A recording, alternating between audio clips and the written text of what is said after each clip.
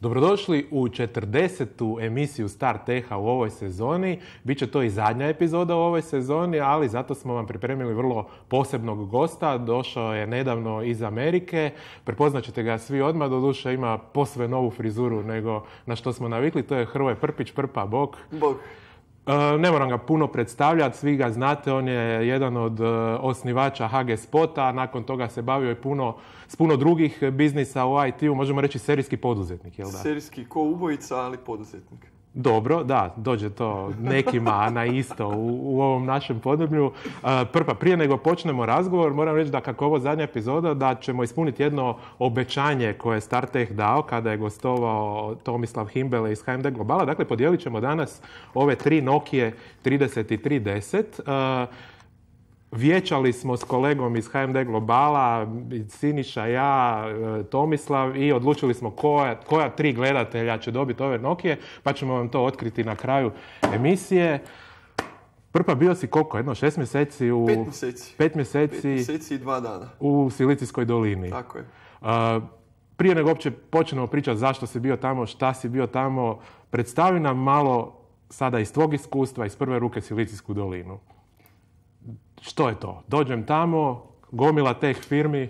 Pa da, ono prvo, prvo te šokira, onak, dođeš tamo i onda vidiš ta nekakva ogromna imena, PayPal, Google, Facebook, uh eBay, stvarno su tu oko tebe, onak, ne možeš roda se nalaziš u centru svijeta. Znači, uh to stvarno iz našeg kuta IT ljudi izgleda kao centar svijeta, kad vidiš, ne znam, Dropbox, voziš se po, po cesti i vidiš Eventbrite ili ne znam, tu je negdje Tesla, ne onak, to stvarno izgleda šokantno onak, da su sva ta velika imena stvarno tu, baš oko tebe. Zašto su oni svi baš tamo? Pa glavni razlog zašto su svi tamo su talenti. Mhm. Znači, tamo je jedna, jedan koncentracija, jedan bazen talenata i svi se oko njih žestoko, žestoko bore. Znači riječ je o talentima iz teh svijeta, developeri, tako, dizajneri. Tako je, developeri, uglavnom bi mhm. rekao developeri su oni, ali tu naravno ima nekakvih matematičara, mhm. raznih, ne znam, neuroscience likova koji se, su se upustili u artificial intelligence i tako, tako da ovoga, osim developera, uglavnom i drugih nekakvih teh ljudi. Dobro, zašto i oni baš dolaze svi tamo? Zbog tih oni dolaze zbog ogromnih plaća. Znači, plaće su stvarno ogromne tamo i nije lako ono uspjeti, ali ako nešto vrijedite, ono, ono je fantastično mjesto za da će vas netko zaposliti. Dobro, teško je onda otkriti šta je tu bilo prije kokoš ili jaje, to je da li su prije bile te teh kompanije koje njima daju velike plaće ili svi ti pa, talenti. Uh, kako je nastala Silicijska Da, taj, ta, ta povijest ono ovoga, šta je bilo prije, u stvari uh, kreće sve od Stanforda još iz 19. stoljeća kada je Leland Stanford osnovao bio taj univerzitet mhm. i njegov sin, odnosno njegov sin umire sa 15 godina. Mhm. On je bogat čovjek, željeznički tajkun, ima ovoga, guverner je Kalifornije, senator u američkom senatu i on u tog čast tog svog sina poklanja, osniva univerzitet i poklanja tom univerzitetu 33 kvadratna kilometra zemlje. Mhm. To je danas najvrijednija valjda zemlja, najvrijedniji posjet na svijetu. se nalazi u sred Silicijske doline, pored Palo Alta, i, ovoga, i takve veličine ko mala državica jedna. I iz tog univerziteta, dugo se to vuče, ja sam malo to proučavao bio, ovoga, sve do negdje do HP-a, uh-huh. Hewlett Packarda koji ne, nastaje 30. godina, koji toku rata, drugog svjetskog rata rade, oni počinju sa oscilatorima, poslije rade nekakve radare vojne i iz tog mjesta se kreće razvijati novi i novi inženjeri i polako počne privlačiti nove tvrtke i od tu se nekako nastaje sve više i više tih tvrtki i jedno drugo vuče. Jako dobar univerzitet koji izbacuje kvalitetne ljude koji se imaju gdje zaposliti, koji opet dolaze drugi ljudi tamo od druge firme jer dolaze po nove kvalitetne ljude i to jedno drugo vuče do današnjeg vremena kad je to stvarno eksplozija jedna.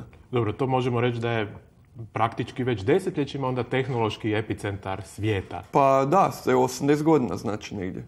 Kad je počela ta, ta kad je počeo taj hype oko startupa? Pa, znači prvi, prvi posljednji anđeli, prva udruga posljednjih anđela osnovana 94. Band of Angels. Dobro. I tak možemo reći da od tad negdje kreće taj hype od startupa. Ali naravno ovoga, kako, kako nižemo uspjehe, kako ti startupi nižu uspjehe, to je sve jači jači hype i sve više i više startupa novih dolazi tamo. Jel postoji neka brojka danas, koliko njih danas tamo pokušava, koliko je uspješnih, e, ili je to uopće neizmjerljivo? Pa ja nisam naišao na tu brojku, ali mogu reći po svom sad iskustvu da je ogroman broj startupa, strašno velik broj startupa, različite kvalitete od, od nekakvih onih apsolutnih početnika kojima, koji ne bi ni u Hrvatskoj digli novce, do onih kojima se stvarno čovjek divi, da nevjerojatno ono. Dobro, naravno, većina njih e, i nisu domaći, nisu to ljudi koji su tamo, nego su isto došli iz svih ovih razloga koje si nabrojao tamo, iz cijelog svijeta. Da, iz cijelog svijeta ih ima, iako ima jako puno, nazovimo to domaćih, znači ljudi koji su se rodili u Palo Alto, koji su završili Stanford, ne znam da li bi rekao da je domaći ako je on iz nekog drugog dijela Amerike, a završio Stanford, pa to bi ga isto tako mogao nazvati domaći. Tako da ovoga, ima dosta vezanih za Izrael, koji je sad već udomačio toliko da, Da. možemo reći da svi izraelski startupi tamo domaći, tako da, da. ovoga, teško uopće odrediti od kud dolaze. Dobro, ima li i hrvatskih? E, da, ima naravno hrvatskih, ima Hrvata, dosta ima developera, ja sam tamo upoznao, čak sam imao neku brojku, ne znam, mislim da je 40 tisuća Hrvata živi tamo, a od tih 40 tisuća 800 govori hrvatski. Ja mislim da sam upoznao jedno stotinjak, ak ne i 200 njih. Čekaj, je li tako velike brojke? Većina njih je unutar tog tech community Ne. Nije? Znači, među njima jako puno ima ljudi koji se bave nekakvim drugim poslovima, iako bi se čovjek iznenadio. Znači, imamo jednog Mat Sertića koji ima u Sisku tvornicu, jel? On je čovjek u svojim 50. godinama koji ima tvornicu, zove se Applied Ceramics, i on radi dijelove za izradu uređaja koji rade procesore, čak i za TSMC. Znači, oni svi procesori koje danas vidimo izrađeni su s pomoć dijelova koje on radi. E, U tim uređajima za izradu procesora, on čipova, pardon, e, ne smije biti nikakav metalni dio, smije biti samo keramički i stakleni dijelovi. I on se bavi tom izradom te precizne keramike koja služi u dijelovima za izradu tih čipova. Dobro, i takvih je primjera, pretpostavljam. I takvih onak igram nogomet s dečkima 60 plus, ne, i mislim si onako na ovaj sigurno zidar, ovaj je Da, negdje da. ovdje, onda on meni veli ja radim, ne znam, radim procesore, Aha. ja radim ovo, ja radim ono, i onak ne mogu vjerovati, ono šoku sam, ono šta rade ti ljudi, onak tu. O kolikom se području fizički radi? Pri- Pričao si mi, tu postoje dvije ceste, koliko su one dugačke, gdje se ti po cijele dane krećeš jednom cestom gore, drugom dole. Točno, znači postoji nekakav ono taj uh, dolina i postoji taj East Bay s druge strane. Ne. Tamo je onak ono više rezidencijalni dio i ljudi žive jer ono nemaju novac, jednostavno se ne mogu priuštiti nego moraju tamo i živjeti, ali sve se u stvari događa između San Josea i San Francisca, A to je koliko udaljeno? a to je udaljeno nekakvih 80 km. I kad ne- ne- nema nikoga, znači na večer, ne znam, u jedan u noći se vozite, onda je 45 minuta ta vožnja. Međutim, tam je uvijek neko po danu Da, da. i on to zna trajati po dva sata. Znači dva sata od aerodroma koji je bliže San Francisco do San Josea, a, pogotovo ta 101, znači postoji ta US 101 koja je nekako centriranija, Dobro. ali je gušća i loša je cesta i užasno je puna auta. I postoji taj 280 sa druge strane koji je u prekrasnom dijelu prirode, ovoga, ali je malo više sa strane i onda ja često izabirao tu cestu jer je lakše voziti, ono, nema toliko ljudi, e, možeš se opustiti, ne, dok je ovo na 101 je konstantno nekakav ono, napor. Dobro. A, kako je doći tamo? Ti si došao tamo sa svojim startupom Trilenium. Tako je. O čemu se radi? Trilenium je, znači kad sam ja došao tamo, ideja je bila napraviti virtual reality shopping. Međutim, ono što je super kod Silicijske doline je što pričate sa užasno puno startupa. Znači vi gledate stotine pičeva, možete razgovarati sa stotinama poduzetnika, čuti nekakve nove ideje, idete tamo, ne znam, ja sam bio na jednom od eventa gdje su bili predstavljali, predstavnici bili Microsofta i Oculus Rifta i ono što sam tamo shvatio iz tog prvog pića je da virtual reality ne ide u B2C. Znači sve tvrtke koje proizvode hardware ne žele da se uopće koncentriraju ljudi na B2C nego na B2B. Znači da se radi o nekakvim e, uslugama u medicini, e, ne znam, e, nekakvim instrukcijama zaposlenika ili pilota ili ne znam čega, ali ne namijenjeno širokoj publici. I onda sam shvatio bio da ne mogu uh, sa tim virtual reality shoppingom, da moramo malo opet pivotat. I shvatio sam kroz te nekakve razgovore i to da možemo ići u augmented reality shopping koji je u stvari već spreman za upotrebu i koji dan danas već može proraditi. Ti imaš razvijeno to rješenje. Mi imamo donekle razvijeno to rješenje, znači mi još čekamo, imali smo namjeru razviti uh, foot tracking engine, mhm. znači Evo ja ovak, prvo da ispričam šta je Trilenium, bit će lakše pa onda ćemo dalje. Da. Znači ideja je uperiti svoj mobitel, kameru svog mobitela u svoje noge ili preko gledala ili direktno u noge i cipele koje kupuješ ti se pojave na tvojim nogama. Dobro. Znači, Kak... tipičan augmented reality. Tipičan. Znači, ti swajpaš kroz cipele i vidiš kako ti one stoje. Dobro. Možeš ih pogledati ono, sa donje strane, sa strane, e, iz daleka, dignut se, jel sve je to omogućeno. Dobro. A, ovoga, I sad da bi se to postiglo, potreban je foot tracking engine, odnosno engine koji će pratiti e, gdje se nalazi pozicija tvoje noge. mm Jel, danas postoji čak deset face tracking engine mm kak je Snapchat kupio bio ovoga, onaj ukrajinski startup koji je radio face tracking engine, tako su odjedno svi krenuli u to. I u samoj Silicijskoj dolini ja sam upoznao četiri tima koji rade na face tracking engine Ali foot tracking Ali foot tracking se još niko nije krenuo zato što jednostavno još ne vide nikakvu upotrebu. Da. Naša ideja bila da mi napravimo taj foot tracking engine, iako ja znam da od tu neće biti novaca, jer mi kad ga mi napravimo, a ga prvo prodamo, krenut će 50 startupa raditi to i onda će svi početi prodavati, srušiti cijenu i od toga neće biti ništa. A, a ono što se ja sad nadam je da će netko to drugi napraviti za nas Aha. i da ćemo mi onda u stvari ponuditi naše rješenje koje je u stvari backend, koje je ono glavno rješenje koje nam niko ne može uh, umnožiti, iskopirati ili jedinstveno, jer smanjuje cijenu sa 2500 mm dolara na 10 dolara po jednom skenu i to je to što mi u stvari tražimo i čekamo. Ne? Dobro, znači ti si tamo došao prije pet i pol mjeseci, šest, to je bio negdje prosinac, jel da? To je bio šest i dvanesti. Šest i dvanesti. rekao si da si u početku ostao šokiran. Čime? Nije bilo nikoga. E, da, da. Ovoga, ja sam došao tamo na poziv ovoga slovenskog jednog akceleratora i došli smo 6.12 održali smo nekakav pitch prvi, naravno moj prvi pitch je loš kao i svaki prvi pitch, jer treba ga prvo srediti, jel? da. I ovoga, da bi nekakvih, e, koliko to bilo, devet dana nakon, odjednom svi otišli za Europu. Mhm. Ne samo oni, svi su otišli ili za Europu ili za skijanje i Sredska dolina je ostala prazna. uh Čak, I onda sam... čak i svi ti startupaši. E, dosta startupova, a pogotovo investitori ili VC-evi. Znači, oni su potpuno zatvore svoje... Zanima, otkud ovim početnicima love za skijanje u Europu. Da, ne, ne, ne, oni se vrate u Europu, oni ciljaju tako da ono, da se vrate ili doma, ako su iz Amerike, da se vrate doma. Ne? Da, da, da. Da, i onda sam proveo mjesec dana uh, sjedeći u kući i čekajući da se oni svi vrate. Znači, užasno, onako, ono, mislim si, trošim užasno puno novaca, da. nalazim se u Americi, solo sam, umjesto da se negdje u Hrvatskoj gdje rulja ima, ne znam, tad je bio Božić, Nova godina, svi partijaju, svima je dobro, samo ja sjedim tamo u Americi i... Da, do, dobro, da, jedan početni šok te da, da. dočekao.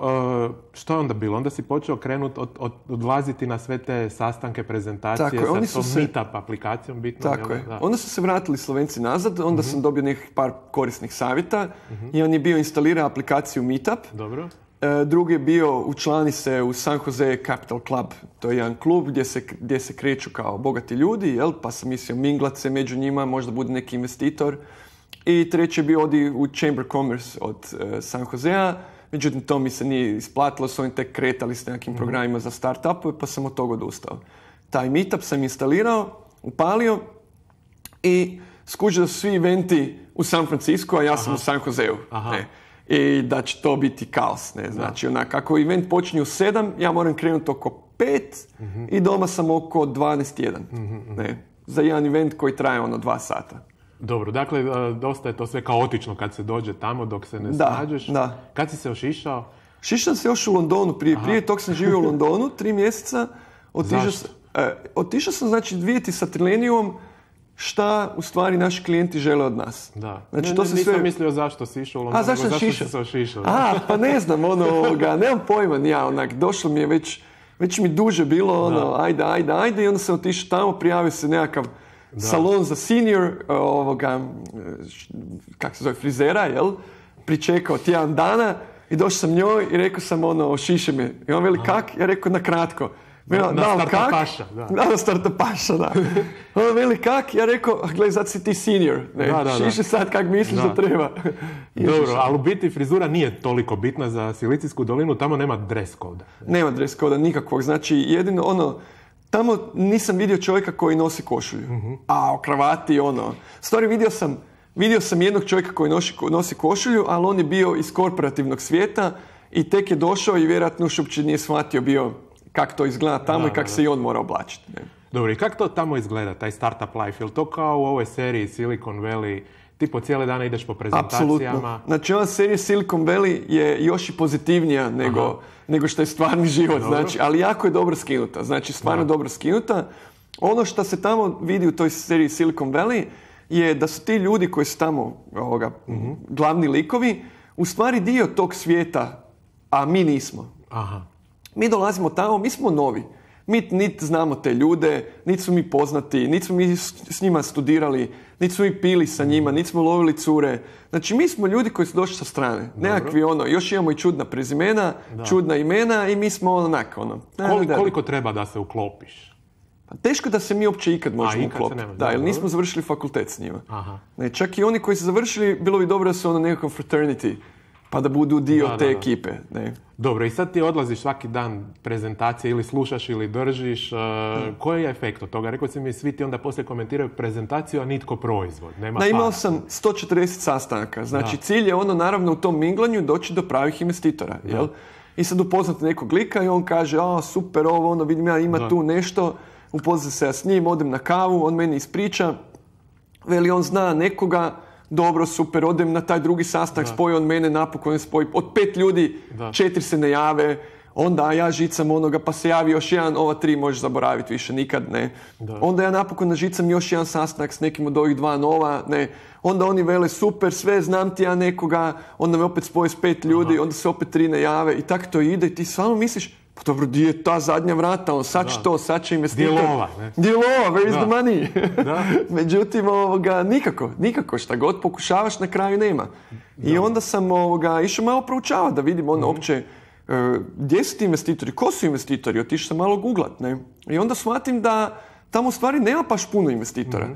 Znači, profesionalnih investitora nema više nego, nego možda u ovoj regiji. Da, da, da. Ovoga, jednostavno ljudi investiraju nekako slučajno, neki amateri koji su e, završili, fe- ono, radili su u Facebooku, digli su nekakvu lovu, naiđu na nekakav startup i onda investiraju u njega, super im je. ne. Kad pogledate tamo, nema tamo puno ljudi koji imaju više od, ne znam, devet startupa investiranih. A profesionalni i ovaj poslovni anđeo bi trebao imati investiranih barem 40, 50. ne. Dobro, znači udi onih koji će tamo zbilja uspjeti je vrlo, vrlo malen. Izuzetno malen. Znači, izuzetno male. Neke brojke koje na, kasnije, kad sam ja malo proučavao, recimo sam neki dan saznao od Siska, Sisko primi godišnje 5000 prijava, od tih 5000 prijava u 10 investira i od tih 10 jedan ima exit. Dobro. E, ti si se tamo dosta družio s Vedranom Vukmanom. e, Da. To dobro dođe, možete plakati jedan drugom. Da, na da, ramenu, da, da, da. Naravno da konstantno plaćemo jedan drugom na ramenu i veselimo se kad je nekakav Da. ovoga, sastanak i onda imamo to je jedan, jedan ovoga, ovakav valoviti e, trend u kojem jedan dan plaćate, u drugom ste Aha. presretni, jer to je to, sutra ide, Dobro, stižem, da. evo, Znači emocionalni tornado neki te tamo. ogroman tornado. Pa, a, ti si se sad vratio. Koji je najveći efekt koji si imao od boravka tih pet mjeseci u Silicon Valley? Pa prvo što sam naučio jako puno kako to izgleda uopće tamo, znači e, onaj cijeli, cijeli PR koji mi vidimo izvana, sad sam ga vidio iznutra šta je to stvarno. Mislim, koji put ovo u, u Hollywood ili u Los Angeles, kad ga gleda kroz filmove, taj Los Angeles izgleda na jedan način, Da. kad uđete unutra, onda shvatite, pa dobro, nije to tako, ono, onak, nije to Da. baš tak bajno, ne, ono, Da. kak izgleda. E, to se meni dogodilo sa Silicijskom dolinom. Drugo je, upoznao sam jako puno startupa, vidio sam šta je sad trenutno nekakav trend. E, fantastičnih startupa koji ono stvarno ovoga, znam da će biti u budućnosti nekakvi velike, velike zvijezde. I naučio sam jako puno artificial intelligence, recimo. To mi je isto bilo jako korisno, što nisam mogao ovdje ni blizu koliko sam uspio tamo. Dobro, znači jedno iskustvo, jedno znanje je zapravo najvrijednija stvar koja se dobije. Znanje, naravno, znanje i iskustvo, vrijedilo je to. može dignuti. Ne? E, pa da, teško se može dići. Ja mislim da sad ja kad gledam onak iz ovog kuta, šanse da dignete novac u Europi i u Americi su podjednake. Da, da, da. Dobro, znači ti ćeš sad dalje nastavljati sa Trileniumom u AR smjeru. Točno. Ništa, želim ti puno sreće. Hrvoje, Hvala. hvala ti što si nam ispričao ovu zanimljivu priču, a mi ćemo sada podijeliti ove tri Nokije. Dakle, e, rekao sam vam već, pogledali smo koji su nam bili najzanimljiviji komentatori. Dakle, jedna Nokia ide za našeg gledatelja sa nikom Inhale, in povlaka Hale, dakle Inhale vjerojatno. Druga Nokia 3310 za Long John 17. Dakle, čestitamo i gledatelju Long John 17. I treća Nokia za našeg najomiljenijeg gledatelja, najvjernijeg gledatelja. Mislim da mu već sada uzbuđenje raste i kuca srce. Radi se o PZK PF ili ti Panceru.